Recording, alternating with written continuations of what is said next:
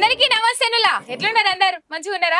ఇవాళ మన దగ్గర ఎవరు ఉన్నారంటే పరిచయం అక్కర్లేని వ్యక్తి మన దగ్గర ఉన్నారు. ఇక ఈ మధ్యలో ఒక పాట ట్రెండ్ అవుతుంది ఇదివరకు చాలా పాటలు చేసినప్పటికి కూడా ఈ మధ్యలో ఒక పాట ట్రెండ్ అవుతుంది అదే ఏంటంటే కష్టపడ్డా ఇష్టపడ్డా లవ్లో పడ్డా ఇది నాకంటే అన్న చెప్తేనే బాగుంటది. బోలే శవాలి అన్న దగ్గర ఉన్నాం. అన్నను మాట్లాడిద్దాం. నమస్తే అన్న. నమస్తే. ఎట్లున్నారు? చాలా బాగున్నా. ఎట్లున్నారని కూడా అడగద్దా అందంగా ఉన్నా అందంగా ఉన్నా అందంగా ఉన్నారు అన్న? నాకంటే అందంగా ఉన్నారు బాగున్నా అనేది రొటీన్ కదా? ఓకే. అందంగా ఉన్నా అన్న. ఓకే అన్న అందంగా ఉన్నారు మనకు మనం మంచిగా ఉన్నారు. అనుకుంటేనే కదా. అన్న.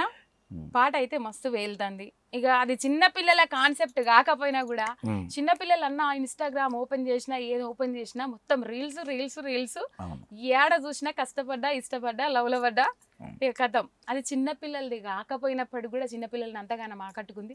అసలు ఈ పాట చేయాలనే ఆలోచన ఎట్లా పుట్టింది మీకు? నాకు ఫస్ట్ అంటే ఒక ఎక్స్పెరిమెంట్. నేను ఛానల్ చాలా మంది నన్ను అడిగిండ్రు. ఉమ్, అంటే నువ్వు చాలా పాటలు చేస్తున్నావు కదా బోలే. మరి నీ నీ అఫీషియల్ అంటే నీ పేరు మీద ఒక ఛానల్ పెడితే బాగుంటుంది. అంటే చాలా మంది ఫ్రెండ్స్ చెప్తే నేను బోలే అఫీషియల్ అని ఛానల్ స్టార్ట్ చేసిన. అలా ఫస్ట్ ఒకటి గుర్తొస్తున్నవారు అని ఒక లవ్ సాంగ్ చేసిన అది పెద్దగా పోలేదు కానీ తర్వాత నేను అనుకున్నా ఇప్పుడు నేను రొటీన్ చేయొద్దు ఒక ఏదో ఒక ఎక్స్పెరిమెంట్ చేయాలనుకున్నా. ఆ ఎక్స్పెరిమెంటే ఇది అనమాట అయితే ఇది ఎట్లా? ఒక తెలంగాణ మాండలికాన్ని ఒక ఒగ్గు కథో లేకపోతే ఒక ఫోకో అట్లా తీసుకొని ఒక లవ్ ఫెయిల్యూర్ సాంగ్లన్నీ ఇప్పుడు బాగా హిట్ అవుతాయి అంటే లవ్ ఫెయిల్యూర్ సాంగ్స్ కూడా మేము చాలా నా స్టూడియో నుంచి మదీన్ కానీ మేము కానీ చాలా చేసినాం. అవి బయట వాళ్ళ ఛానల్లో బాగా హిట్ అవుతాయి అలాగే నేను లవ్ ఫెయిల్యూర్ సాంగ్ చేయాలంటే మళ్ళీ సేమ్ అలాగే చేస్తే బాగుండదు. దానికి రివర్స్గా మనం ఆపోజిట్గా ఏదన్నా కొత్తగా వాళ్ళ అటు నుంచి వెళ్తే మనం ఇటు నుంచి వద్దాం కొత్తగా అనుకుంటే ఎట్లా ఉంటుంది చేయాలని అనుకున్నా అది లవ్ ఫెయిల్యూర్లో. సో అదేంటి తెలంగాణ మాండలికంలో తిట్టినట్టు ఇప్పుడు లవ్ ఫెయిల్ అయింది ఇప్పుడు ఆమె ఆ అమ్మాయి మోసం చేసింది ఫర్ ఎగ్జాంపుల్. చేసినప్పుడు ఎట్లా తిడతారు. జనరల్గా సరదాగా అంటే తిట్టడం అంటే అమ్మాయి లేదు దూషించడం అట్లా చేయలేదు నేను. సరదాగా బుజ్జి అని ఒక పేరు పెట్టుకొని. తిడితే ఎట్లుంటుందని చెప్పి నేను ట్రాక్ పాడుతున్నప్పుడు నాకు ఒక ఐడియా అంటే ఇప్పుడు ట్రెండ్లో ఉన్నటువంటి వీడియో ఏంటంటే మల్లారెడ్డి అన్నది. మల్లారెడ్డి అన్నది కొంచెం అది తీసుకున్నా ఆ పీస్ అది బాగా ట్రెండీ ఉంది కదా. దాన్ని తీసుకుని అంటే దాన్ని నేను క్రిటిసైజ్ చేయడం కాదు. మల్లారెడ్డి అన్నది ఏంటంటే సీరియస్ అది ఆయనది ఉమ్. అనేది సీరియస్ మ్యాటర్.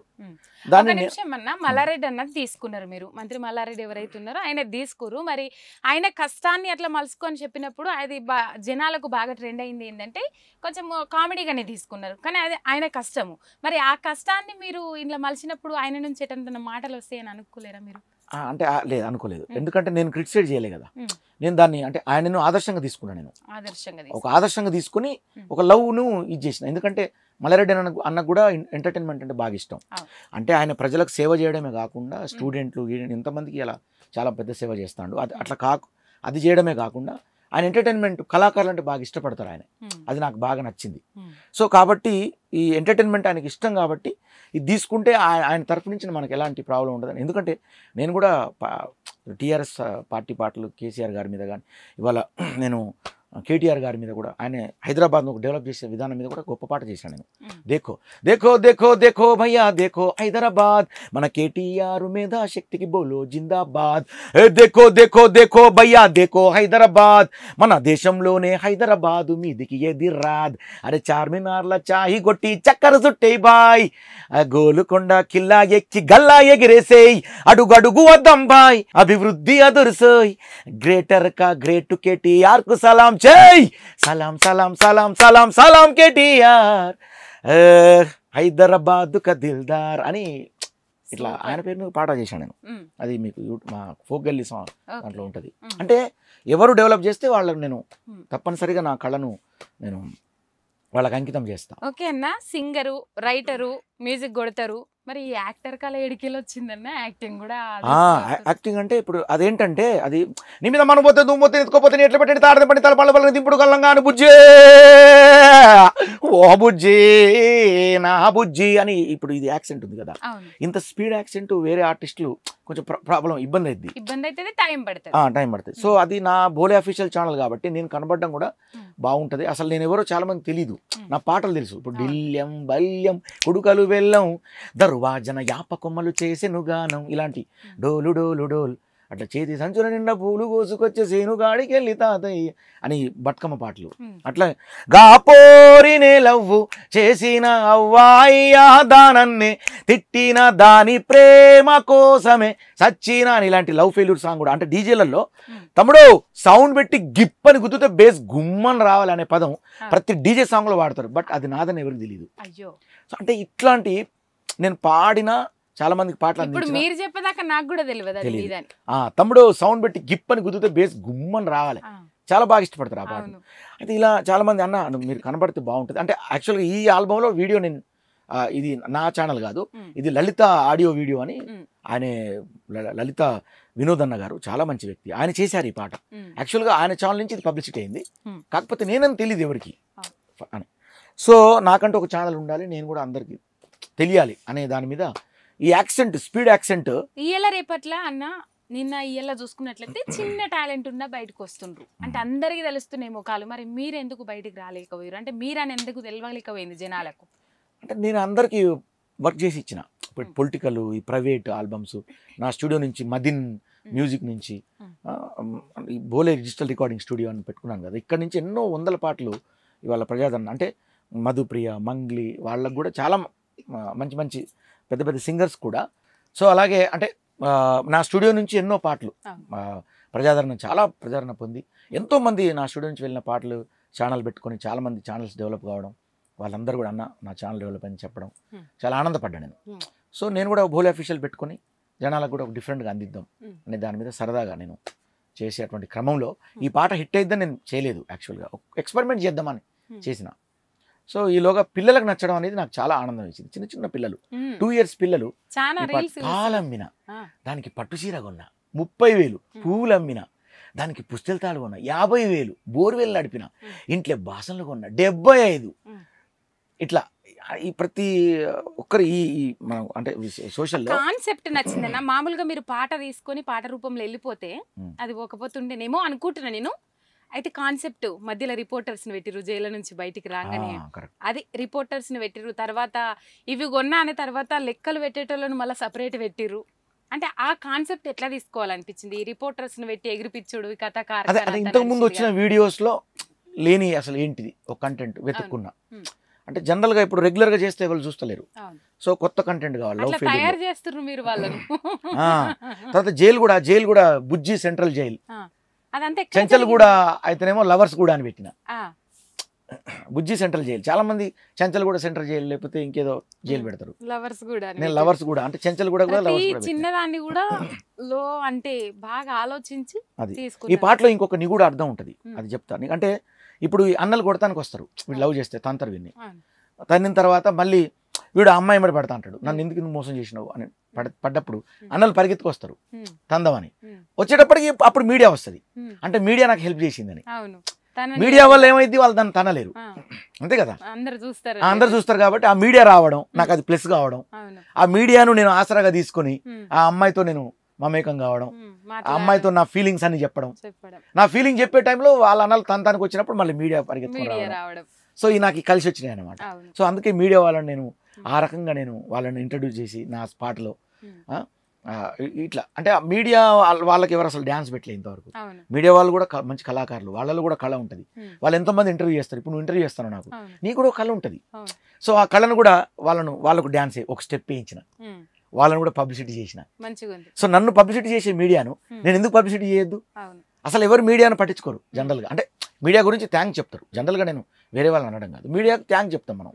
సో థ్యాంక్ చెప్పడం కాదు. ఆ మీడియా వాళ్ళతో డ్యాన్స్ చేయించాను నేను. సో వాళ్ళని కళాత్మకంగా ఈ వేది నా పాట అనే వేదిక మీద వాళ్ళకి పరిచయం చేసినందుకు చాలా ఆనందం అయింది నాకు.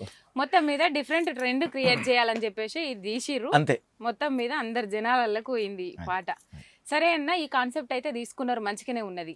అయితే నువ్వు లవ్ ఫెయిల్యూర్ చూపెట్టాలని అనుకున్నావు అది డిఫరెంట్ రకంగా చూపెట్టాలని అనుకున్నావు. అనుకున్నా. అనుకున్న తర్వాత మరి ఆడోళ్ళ గురించి అంటే మామూలుగా ఆడోళ్ళకే ఉండదు లవ్ ఫెయిల్యూర్ మొగళ్ళకే ఉండదు. ఇద్దరికి ఉంటుంది.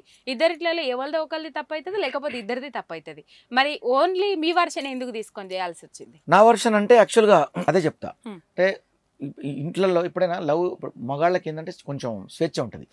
ఆడవాళ్ళకి స్వేచ్ఛ ఉంటుంది. ఇప్పుడు అదే పార్ట్ టూలో చెప్పబోతాను నేను. పార్ట్ టూ యాక్చువల్గా ఆమెకు ఈడంటే ఇష్టమే. అన్నల ద్వారా ఈమెకు భయం. అన్నలు ఇంట్లో అన్నలు పేరెంట్స్ భయపడతారు కదా. లవ్ అంటే ఇష్టమే ఈడంటే ఇష్టమే. చాలా మంచి మనసు ఆమెది. కానీ ఈ వీడితో మమే కావడానికి ఆమె ఆమెకు అంటే లేడీస్కు అంత ప్రైవసీ ఉండదు. మగాళ్ళకు ఉన్నంత ప్రైవసీ లేడీస్కి ఉండదు. లేడీస్ అన్ని రకాలుగా వాళ్ళు బాధ్యత అన్ని రకాలుగా బాధ్యతలు ఉంటాయి వాళ్ళకి. ఇంట్లో వాళ్ళకి ఇది ఉంటుంది. ఆడపిల్ల కదా ఏదన్నా ఇబ్బంది పడతారనే బాధ్యత మీద వాళ్ళు భయపడుకుంటూ ఉంటారు. వాళ్ళకి ప్రేమ ఉంటుంది గుండెల. కానీ వాళ్ళు బయటికి ఎక్స్పోజ్ చేయలేరు. ఎక్కడ మా పరువు బయటపడుతుందో మా ఇంటి పరువు బయటపడుతుందో అని వాళ్ళు పాపం బాధపడుతుంటారు. ఇబ్బంది పడుతుంటారు. అలాంటి తరుణంలో. అన్నలు ఏం చేస్తారంటే ఈ లవ్ను మేము ఒప్పుకోం. ఉమ్, నువ్వు వాడి మీద కేసు పెట్టంటే ఆడి మీద ఈమె కేసు పెడుతుంది. అన్నలకు భయపడి పెడుతుంది. భయపడి. అన్నలకు అందుకే స్టార్టింగ్లో నేను ఆర్డర్ ఆర్డర్ బోలే మీద ప్రేమ ఉండి చేసిందా? లేకపోతే ప్రేమ లేక అన్నలకు భయపడి పెట్టిందా? ప్రేమ లేక పెట్టిందా? అనేది పూర్వపరాలు తెలిసే ముందు బోలేకు తాత్కాలిక బెయిల్ మంజూరు చేయడం. అయింది వెరీ గుడ్. అనేది పెట్టినా నేను. అంటే ఏంటి దాంట్లో నిగూఢంగా ఇప్పుడు పార్ట్ టూలో చెప్పబోతాను అమ్మాయి ఎక్స్ప్రెషన్.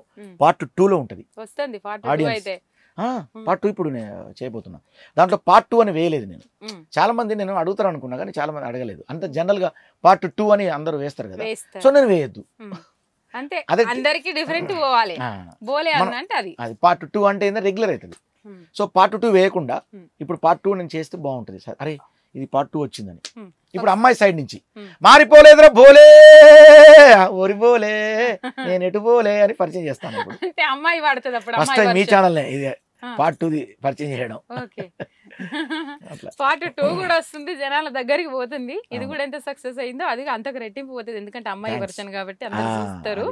రైట్ అన్న ఇంకా ముచ్చట ఏంది నేను అడగాలనుకున్నది అంటే మల్లారెడ్డి దగ్గర నుంచి తీసుకోరు. అంటే అది మీకు తోడవుడు ప్లస్ అయిందా మీకు? హండ్రెడ్ పర్సెంట్ ప్లస్ అయింది. ఎందుకంటే మల్లారెడ్డి గారి కాన్సెప్ట్ అనేది. పబ్లిక్ బాగా పబ్లిక్లోకి వెళ్ళింది కాబట్టి. ఆయన సీరియస్ విషయాన్ని చాలా కామెడీగా చెప్తారు ఆయన. నిజంగా జీవితాలకు సంబంధించిన విషయం అది. కానీ దాన్ని ఆయన. చాలా సారీ కామెడీగా కాదు కళాత్మకంగా చెప్తారు. కళాత్మకంగా అంటే నేను పాలమ్మిన పూలమ్మిన కాలేజీలు పెట్టిన ఊరు నడిపిన అది చేసిన ఇది చేసిన అందరిని. ఇవాళ మల్లారెడ్డి అంటే ఐకాన్ అని. సో ఆ చెప్పే విషయం ఆయన పెప్పుగా చెప్తారు ఆ పెప్పుగా చెప్తారు కాబట్టి దాన్ని entertain గా తీసుకున్నారు చాలా మంది. కానీ అది సీరియస్ విషయం. అక్కడ దాకా పోయిందా పాట మరి కాబట్టి దాన్ని నేను ఏం చేసిన లవ్కి ఇది ఏదో చేద్దాం మల్లారెడ్డి అన్న దగ్గర దాకా పోయిందా పాట పోయింది ఆ. పోయింది ఎందుకంటే చిన్న శ్రీశైలం యాదవ్ అన్న నాకు కాల్ చేశారు ఆ. ఇట్లా మల్లారెడ్డి ఆయన మంచి ఫ్రెండ్. సో ఆయనకు పంపించిన. ఆయన మళ్ళీ త్వరలో. మనకి ఆయన తరఫు నుంచి మనకు వస్తుంది. పిలుపు అన్నారు. అదే దానికోసం వెయిట్ చేస్తున్నా ఇప్పుడు. అంటే ఆయన చాలా బిజీ ఉంటారు కదా. తప్పకుండా. అంటే మరి ఇది ఎలక్షన్ మూమెంట్ ఎలక్షన్ మూమెంట్ ఆ ఎలక్షన్ మూమెంట్లో కూడా పాట పైన దృష్టి పెట్టి బాగుంది అని చెప్పిరంటే అది గ్రేట్ కదన్న తప్పకుండా వస్తది పిలుపు వస్తది మీరు పోతారు. ఇంకా ఏమంటారు? ఆయన డైలాగులు హైలైట్ అయినాయి కాబట్టి కంపల్సరీ దానికి గుర్తింపు అనేది ఉంటది ఉంటది కంపల్సరీ. కదా. ఉంటది. అని ఉంటదని నమ్ముతానా? నమ్ముడేందన్నా? ఉంటది పక్క ఉంటది. ఇంకా ఈ పాట రెండు రెండు లైన్లే వాడుకున్నాం కదా మనం. జర్ర మొదగాల మొదలు పెట్టి జర మధ్యలో దాకా వాడి ఇడిచిపెట్టరాదా జర అట్లా అట్లా వినిపించుకుంటాం. అన్నట్టు. నీ మీద మన పోతండి నువ్వు పోతండి ఎత్తుకోపోతాను ఇట్లా పెట్టండి తాడదపడి తలపాళ్ళు పలకండి దింపుడు గల్లంగాను బుజ్జో. ఓ బుజ్జి నా బుజ్జి. ఏ ఏడు పాప ఏం జరిగిందో చెప్పా. కష్టపడ్డా ఇష్టపడ్డా లవ్ల పడ్డా అది కాదంటే కాళ్ళ మీద పడ్డా అది సరే అంటే సంబరపడ్డా దానన్నలతోటి తనులపడ్డ కింద పడ్డ మీద పడ్డ కర్మగాలి జేళ్ళబడ్డ వాణ్ణి వీణ్ణి బతిలాడి ఆఖరికి బయటపడ్డ ఏ కొంచెం బీట్లు చెప్ప. మోసం చేసావు కదా బుజ్జో. ఓ బుజ్జి నా బుజ్జి. ఏం పాప చేసిన బుజ్జో? ఓ బుజ్జి నా బుజ్జి. ఇట్లా. పోన్నా ఇంకా జరంత ముంగడి పోన్నా. ఇక పోత మొత్తం పాట అంతా ఇక నా వీడియోలో చూసుకుంటారు. బోలే అఫీషియల్ వీడియోలో చూసుకోండి మిగతాది. అంతే మిగతా అది చూసుకోమంటారు. పాడనైతే వాడరు ఇప్పుడు. పాడినా కదా? కాదన్నా అది అది చెప్తారని ఎదురు చూసిన. మెయిన్ అవే కదా. బోర్వెల్ నడిపిన అది కథాకారకాన. ఏ అమ్మాయికి ఏం కొన్నావు చెప్పా? అంటే పాలమ్మిన. దానికి పట్టుసీర కొన్నా. ముప్పై వేలు. పూలమ్మిన. దానికి పుచ్చలు తాడు కొన్నా. యాభై వేలు. బోర్వెల్ నడిపిన. ఇంట్లో బాసనలు కొన్నా. డెబ్బై ఐదు. బర్లను వేయించిన. దానికి బంగారం కొన్న లచ్చ ఒళ్ళు వంచి ఇల్లు కొన్న చెమటగార్చి కారు కొన్న బెడ్డు మీద పరుపు కొన్న పది మందిల పరువు కొన్న. ఇజ్జతి కదా బుజ్జో! ఓ బుజ్జి నా బుజ్జి ఏ బొమ్మ చేసిన బుజ్జో? ఓ బుజ్జి నా బుజ్జి. అంతే. సరే అన్న పాట చేసుడు వేరు. మీకేమన్నా లవ్ ఫెయిల్ ఉండేనా నాకు లవ్ ఫెయిల్యూర్ అట్లా ఏం లేదు. కానీ ఆ ఫీల్ అడ కనబడ్డది కదా అందుకు అడుగుతున్నా. అంటే. మనం ఇప్పుడు ఒక కళాకారుడు ఏంటంటే లవ్ ఫెయిల్యూర్ ఉంటేనో లేకపోతే నాకు స్టోరీ ఉంటేనో అది రావడం అని కాదు. మనం క్రియేట్ చేసుకొని చేయడమే క్రియేషన్. మనం ఒక క్రియేటర్స్. చిన్న చిన్న లవ్ ఫెయిల్యూర్స్ లాంటి జనరల్గా జీవితంలో ఎక్కడెక్కడెక్కడో ఏదో అంటే జరుగుతాయి ఉండొచ్చు కానీ ఇప్పుడు వదిన చూస్తుందని చెప్తలేవు కదా అయితే భయపడతావు వదినకు అన్నట్టు వదినమ్మ మంచిగా చూడు ఉండే అన్నకు లవ్ ఫెయిల్యూర్ కానీ చెప్తలేడు ఈడ. రైట్ అన్న? కాకపోతే ఇప్పుడు. వదినే అంటే వదినే వినాలి కాబట్టి చెప్తా ఒక మాట. లవ్ ఫెయిల్యూర్ నాకేమో కానీ జీవితంలో. చిన్న చిన్న ఫ్యామిలీ ఫెయిల్యూర్లు ఉన్నాయి మధ్య మధ్యలో. తిడుతుంది అప్పుడప్పుడు నన్ను. అది ఇప్పుడు సెట్ చేసుకున్నా. అంటే పెళ్ళి అయినాక? ఫ్యామిలీ ఫెయిల్యూర్లు ఉంటాయి. పెళ్ళి కాకముందు లవ్ ఫెయిల్యూర్లు ఉంటాయి. సో కాబట్టి ఫ్యామిలీ ఫెయిల్యూర్లు కూడా ఉంటాయి కాబట్టి ఈ పాట చూసి చాలా బాగా స్పందించాను బాగా ఇష్టమైన పాట ఇది. నా లైఫ్లో బాగా నచ్చింది నాకు ఈ పాట. ఇన్నాళ్ళకు ఒక మంచి పాట ఇచ్చినామని చెప్పింది. ఆ. సో ఆమెకు ఈ సందర్భంగా నా మా wife hats off thank you మీకు ఆమె హ్యాట్సాప్ చెప్పాలనా? ఆమెకు మీరు చెప్పాలనా? ఆమె మెచ్చుకున్న భార్యలు ఎప్పుడు కూడా గుర్తుపెట్టుకోండి. ఇప్పుడు జనం అందరు లోకం అంతా మెచ్చుకుంటది. ఇంట్లో పెళ్ళం మెచ్చుకోదు. ఇది జరుగుతుంటది కళాకారులకు. అయ్యో. పెళ్ళం అంటే ఎట్లుంటది అంటే వాళ్ళది వాళ్ళకి లోపల ఇష్టం ఉంటుంది కానీ పైకి వాళ్ళు ఒక్కోసారి వాళ్ళు అంటే అందరూ అనొద్దు. భార్యలు మంచోళ్ళే కానీ వాళ్ళకి కొంచెం ఇగో ఉంటుంది. భర్తలు నేను మెచ్చుకోవాలన్నా ఇప్పుడు నేను అని. అయ్యో. కానీ మనసులో మాత్రం ప్రేమిస్తారు వాళ్ళు.